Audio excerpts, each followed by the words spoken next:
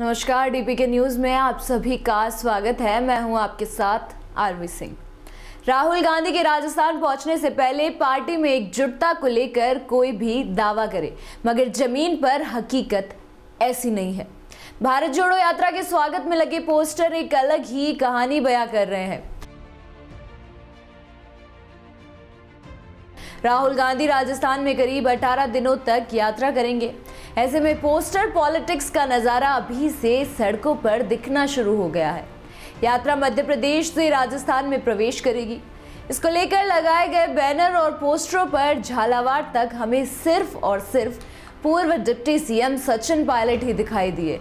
सड़क के दोनों ओर पोस्टरों पर राहुल गांधी और सचिन पायलट की बड़ी बड़ी तस्वीरें दिखाई दे रही है।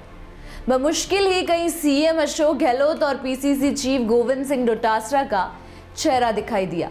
कोटा से आते हुए झालावाड़ में प्रवेश करते ही राहुल गांधी के स्वागत में हज़ार के करीब बैनर दिखाई दिए। झालावाड़ में बस स्टैंड पर हर तरफ़ सिर्फ़ सचिन पायलट ही नज़र आ रहे हैं। आगे बढ़े तो डिवाइडरों पर, लाइट्स पर, पोल्स पर, घरों पर, होल्डिंग पर सिर्फ़ पायलट ही पायलट दिखाई दे रहे हैं। झालावाड़ में चारों सीटें बीजेपी के पास है, मगर यहाँ चुनाव लड़ चुके विधायक प्रत्याशी और संगठन में मज़बूत पदाधिकारी ने राहुल के लिए स्वागत में जो पोस्टर लगाए हैं, उनमें सचिन पायलट को खासी जगह दी गई है।